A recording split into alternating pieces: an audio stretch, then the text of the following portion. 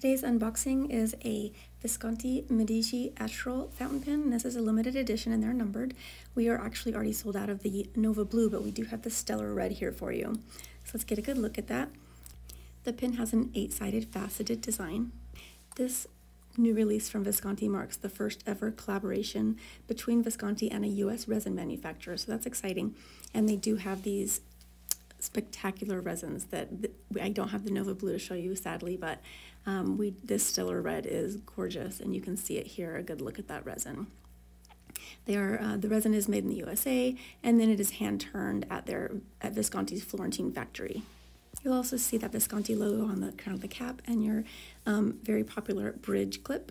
You have your hook lock safe system there on the cap that Visconti is well known for and your 18 karat gold um, nib. And it is plated to match. Uh, the Stellar Red comes with silver trim. Um, and if just for if you're curious, the Nova Blue had black ruthenium trim. Um, it does have the Visconti's um, power filler. So if you're not familiar with that, this is how you work that mechanism. The resins for the Visconti Medici Astral fountain pen line were handpicked for the really deep color saturation and that dusting of silver fleck that creates the mystical luminescence. Now for unpacking a little bit of the box here, you lift up that false bottom to find your warranty information and as well as the company and pin information. For more information on this pin, visit penchalet.com.